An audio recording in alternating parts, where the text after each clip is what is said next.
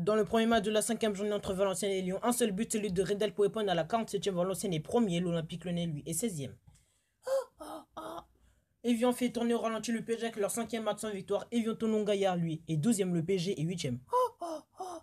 Sochaux lance 0-0. Les Sochaux descendent du podium avec leur quatrième place et 10 points. Le RC lance est 10e à 4 longueurs avec 7 points. Entre Bastia et Guingamp, victoire 1-0 et Décor, c'est un du jeu en Palmeiras à la 29e. Bastia sort de la zone de relégation qu'occupe l'en avant Guingamp, avant-dernier avec 4 points.